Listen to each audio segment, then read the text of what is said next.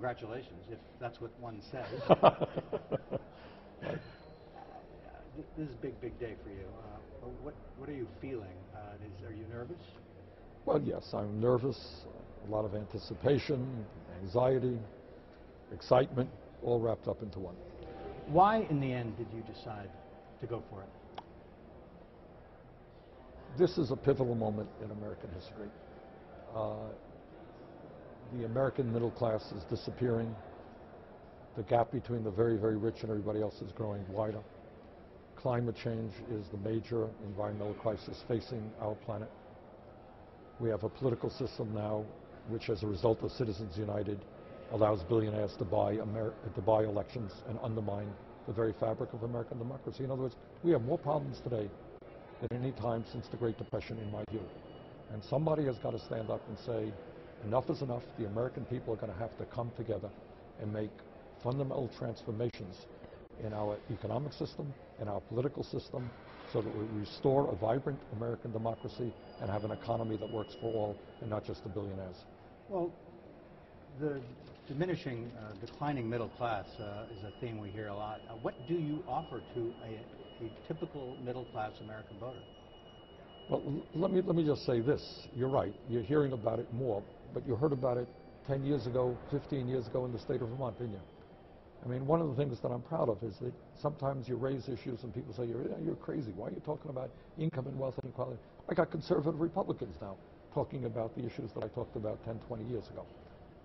Um, in terms of why I am running now, I think now is the moment.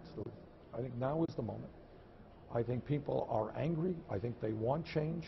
I think they are tired of uh, corporate domination of our economy and establishment politics. And that's the basic reason. You're entering the Democratic uh, primary race. Right, right. You'll have to persuade Democrats that you're a, a better choice than Mrs. Clinton. What are the key differences? Well, I don't know yet because, you know, the campaign is very early and we haven't heard Secretary Clinton bring forth a whole lot of proposals. Uh, but some of the differences are pretty clear.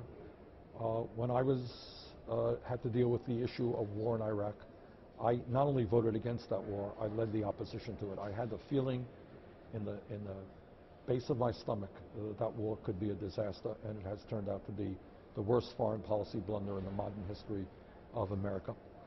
Um, in terms of trade, as I think Vermonters know, some agree, some don't. I've been against all of these trade agreements, uh, from NAFTA to permanent normal trade relations China, with China to the Trans-Pacific Partnership, which I believe have had the impact of shutting down uh, factories in Vermont and in America uh, and, and, and, transferring those jobs to China and Vietnam and low-wage countries. I've been very consistent on that uh, issue. Uh, in terms of climate change, I was very vocal in opposition to the Keystone Pipeline. So I think there are a number of issues out there, but I think as the uh, campaign progresses, people will have to make uh, a determination as to which candidate is more prepared to stand up and fight for the working families of our country. The Republicans are already uh, saying that yours is a campaign that seeks to divide the country uh, along cultural and uh, class lines. How will you respond to well, that? Let me respond to that very forcefully. Uh, this country is divided along class lines, and class warfare in this country has existed for the last 30 or 40 years. Unfortunately, the result of that class warfare has been the disappearance of the American middle class and trillions of dollars in wealth going to the top one-tenth of 1%. And what I am saying is that is grossly unfair, that we need to transfer some of that wealth that has gone to millionaires and billionaires back into the hands of the middle class and working families. Uh, right now, 99% of all new income is going to the top 1%. That's the truth. Right now, the top one-tenth of 1% owns as much wealth as the bottom 90%. That's the reality. That is not sustainable. That is not what the American economy should be like. Now, the Republicans like it. That's fine with them because their billionaire campaign contributors are the ones who are benefiting from that inequality. Working families do not like that. I'll stand with the working families and take on the billionaires. You say transfer wealth. How will you do that? Well, you need, number one, a tax system which says to large multinational corporations, some of whom are making billions of dollars in profits, paying zero in taxes because they They stash their money in the Cayman Islands and other tax havens. You have a tax system in which hedge fund managers pay a lower effective tax rate than do uh, nurses uh, or teachers. That's absurd. So we need a fair tax system which says to the billionaires, yeah, you're going to have to start paying your fair share of taxes. Um, This campaign, um, you were um, hesitant. You wanted to be convinced you could raise an adequate sum of money. What do you think you need? How's it going to work? Well, this money business, you're right. This has been something uh, that has made me think hard about whether I wanted to run. And, and, and, honestly, Stewart, it's not just about Bernie Sanders. It's about any candidate who wants to run for office, who is not wealthy, who wants to stand for working families. Have we reached the moment in American history that's no longer possible? That the only way you run is either be a billionaire yourself or beg money from billionaires and do their job. Uh, and that troubles me very much, which is why I believe we've got to overturn the Citizens United Supreme Court decision. But what I have concluded, and we'll see if I'm right or not, I may be wrong in this, but I have concluded that there are enough people all over this country, middle class, working class people, who are saying, you know what, I'm going to send Bernie Sanders 50 bucks. I'm going to send them 100 bucks. I'm going to send them 10 bucks. We get donations of $5. We get donations of $1 from old people who say, you know, I'm on Social Security, I can't send you more. Uh, it will take a lot of those small donations, you know, to, to run, raise the kind of money that we need to run the campaign that we have to, but I think, I think that we can do that.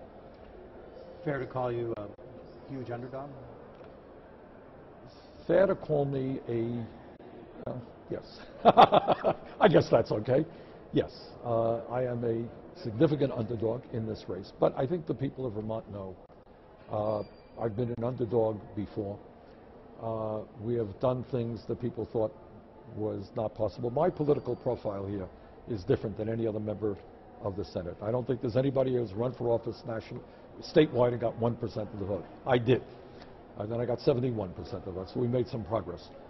Uh, but I think that the pundits around here uh, underestimate uh, where the American people are and the frustrations the American people are feeling with establishment politics. So I think we got a shot to win this, but yes, we start off as a significant underdog. Uh, What do you want to tell folks back home as you begin this effort?